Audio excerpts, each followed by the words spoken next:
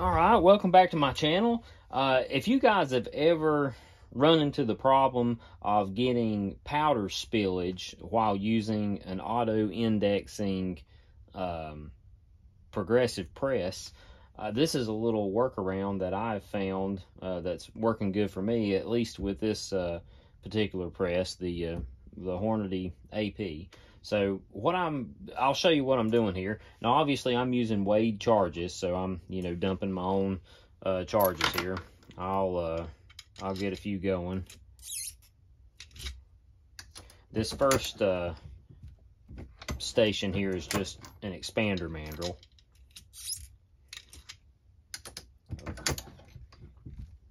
So I'll get to the I'll get to the actual powder dispensing here. All right, here we go. So I got a charge over here weighed out, ready to go. Now, if I were to just raise or lower the ram and let it index on its own, usually when it snaps into place, that little bit of jar is enough to knock some powder out of the top of your cases. Um, but what I've noticed, if I just lay my finger down right here, that slows the the uh, and I mean I'm I'm holding on to it pretty good, but that slows it down enough to where it won't do this. Uh, yeah, I've not put a bullet in here yet, so let me get me going going here. Now, when you raise it up, it also on this particular press it indexes a half turn on its way up too. So you got to remember to do it then too. So just lay your finger here, and there you go. It's uh, no powder spillage, and uh, I missed. Uh, because I got to talking, I, I forgot to put another, um, and I've just been pulling this one out instead of waiting for it to come around.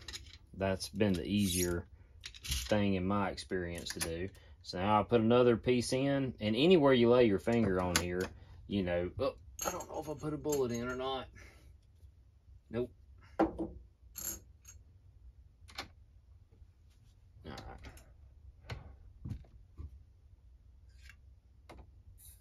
and I don't think I have any more brass set out out over there ready to prime. So again, just putting my finger on here. I'm gonna pull this one out.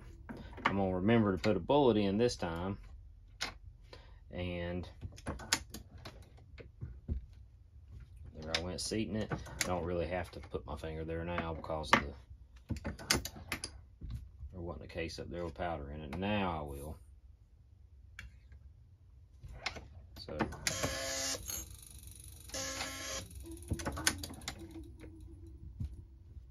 but that's a pretty good little trick there uh, that I've recently discovered. So if you're having issues with, uh, you know, powder flying out of your cases, like, uh, you know, if you just let the press do its thing, that jar, you can see how much the cases move around every time you do that.